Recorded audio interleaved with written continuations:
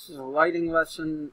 Um, we're going to look a little more closely at a lighting fixture that provided by a manufacturer that's missing its own uh, IES profile. That is the default profile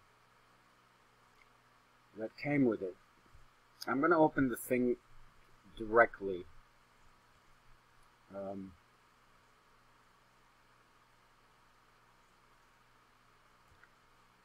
from my lighting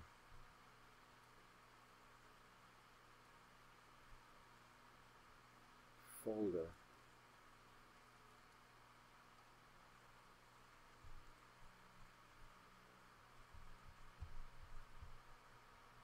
And the fixture is manufactured by Eureka.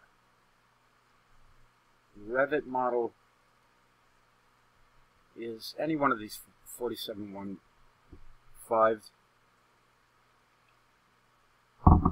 I'm assuming HO means something like high output. Uh, the 24 by 36 is the size of the fixture. So it's circular uh, fixture, so you're going to have even distribution. I'm going to open that family. Just going to upgrade from Revit 2018, 2010, and there we have the fixture. And there you have the lighting source. Right? So the problem with the light source, and let's select it. Maybe I can change the, uh, graphics. Does this allow me to do this here?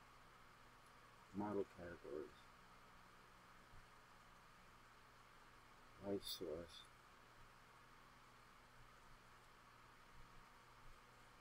Now all I can do is change the visibility. So anyway, I can select it here.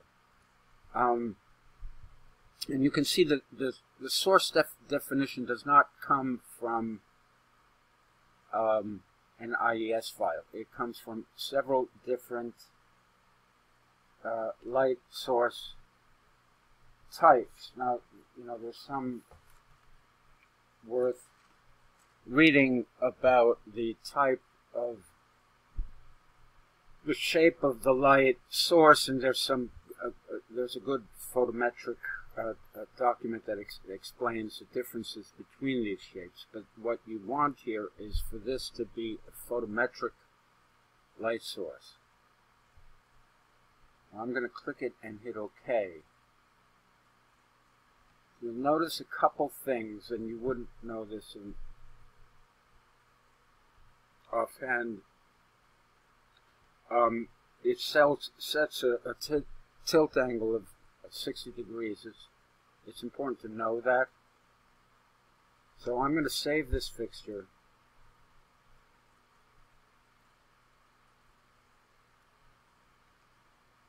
As a 2019 Revit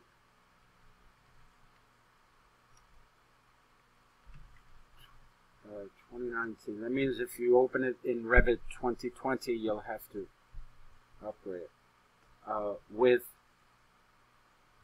IES. And save that.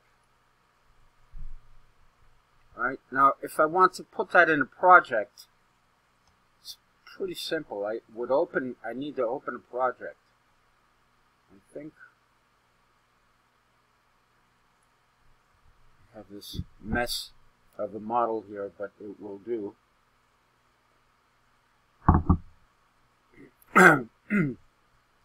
so you can see there are a bunch of lamps in there, and I've, I've turned on the visibility settings for uh, light source to reveal light source, right?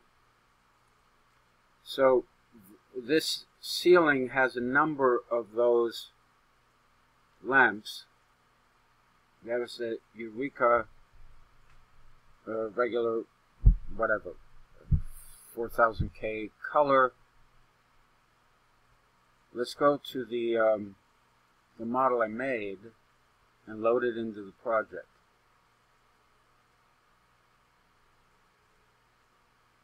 Okay, we can place an instance of it anywhere in this view. I don't recommend doing it in this view, but you can see the difference between it now. The casing, the, the housing is the same, the shape of the enclosure. What's different is, uh, let me show you for example, if I select this fixture and click Edit Type, type editor, right? and I scroll down to photometrics, it's reporting the original photometric, which was the light sort, the circle spherical, right? So you get that thing that looks something like an inflated tire tube, right? But when I select this one and click the type editor, and scroll down, because I made that change, I'm able to select a photometric file here. So it loads a default, but you can substitute the one that you need for, I'm going to rather circuitously go to my folder that has that lighting definition.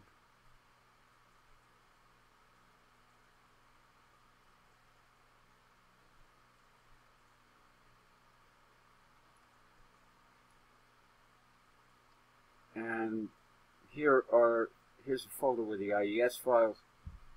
There's the any one of those is the geometry for that. I could select, I don't know what size the fixture was. It's 24 HO. So I could select that one and hit OK.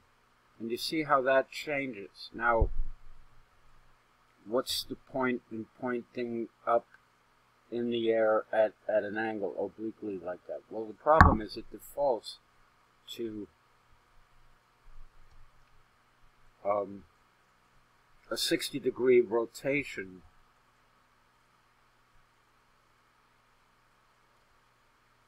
I need to change that to a minus 90 to have it point down. So if I change the angle and apply it, now that that uh, uh, photometric pattern associated with that light is correct. Like the ones we saw before that I assigned to other fixtures, which make no sense to assign that light pattern to a recessed fixture, right? Now, there are a number of other considerations that you have to take into effect. The, the distance of the source of that light from the ceiling and and and by extension you know from the housing of the fixture what the shape of the fixture the lenses, the, the, the color of the inside of that fixture whether it is reflective, luminous, uh, you know, some other kind of. Uh, I've I've seen other instructors take and paint uh, the inside of those lamps. I, am not going to go there with this particular thing, but this is a, an example to show you how that this would be done. So now I can save I think I did. That with IES and I will load it in my handouts lighting folder.